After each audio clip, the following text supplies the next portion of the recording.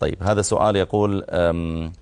فضيلة الشيخ والدتي اليوم هو آخر أيامها في الدورة الشهرية وعندها اليوم أمسكت عن طعام الشرب هل فعله هذا جاز المرأة إذا طهرت الظهر أو العصر من دورتها الشهرية فإنها لا يجب عليه إمساك إلى الليل. يمكنها ما دام أنها ستقضي هذا اليوم وأفطرت بعذر شرعي صحيح ليس خطأ منها أو تساهلا لا أفطرت بعذر شرعي صحيح وهو وجود الحيض أو النفاس فإنها